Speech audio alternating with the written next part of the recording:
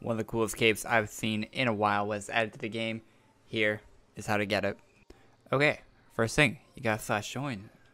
Just like to get any item. And this one is World Soul. So we'll go to right one. It'll take you here. Now this is part one of the final Lakens quest line. Uh, you will have to do the quest to get to the area unless you have a friend you can go to who has already completed this area.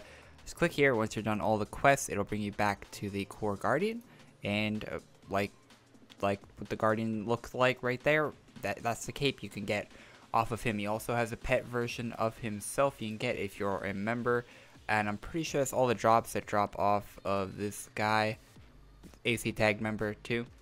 Uh, if you run back to the beginning, here there's also a merge shop for the items you get in this area. I'll quickly go through it three swords, one armor, two hats, and a cape, and another cape.